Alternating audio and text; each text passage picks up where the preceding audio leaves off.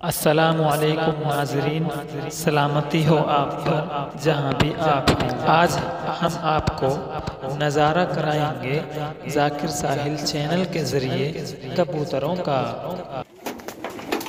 अच्छा माशाल्लाह ये आपके हैं।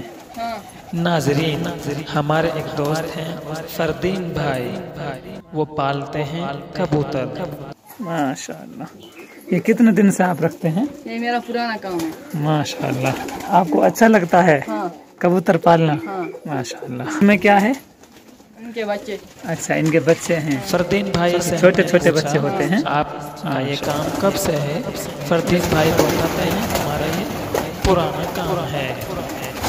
हमने उनको पूछा आपने ये कैसे स्टार्ट किया? कैसे शुरू किया?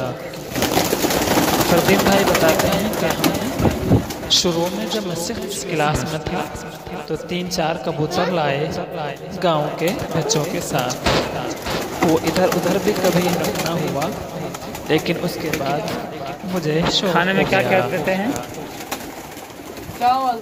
चावल और मकई और मेरी पढ़ाई जारी रही। मेरे बड़े भाई और मेरे वालिद मोहतरम इन कबूतरों की देखभाल करते थे।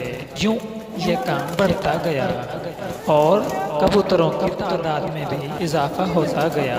कबूतर आपको पसंद है? बोले, बहुत पसंद है।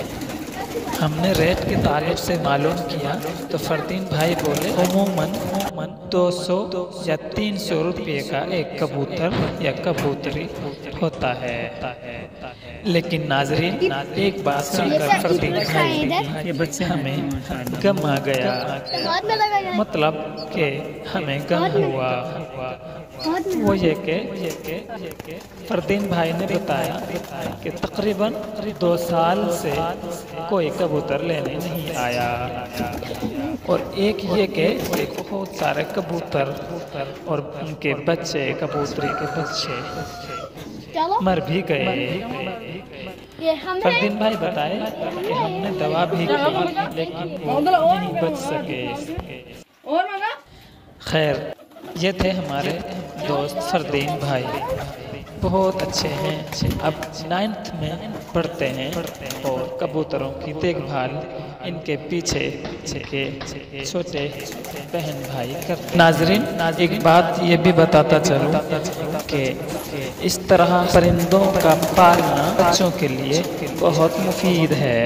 ख़ास तौर से आज के माहौल में बच्चों को गंदगी से बचाने के लिए इस तरह के कामों में मसरूफ़ और मशगूल कर देना बहुत ही ज़्यादा मुफीद है। लिहाजा वालदेन को चाहिए कि बच्चों की पसंद के मुताबिक उनको इस तरह के कामों में मसरूफ़ करना चाहिए।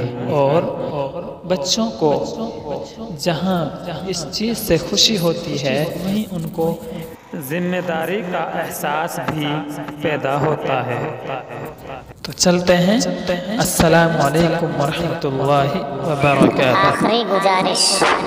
अगर आपने हमारा चैनल अभी तक सब्सक्राइब नहीं किया है या तो नाजरीन इकराम अभी सब्सक्राइब कर लें और घंटी के निशान को भी ज़रूर दबाएँ ताकि हर नई वीडियो का नोटिफिकेशन आपको सबसे पहले मौसू हो।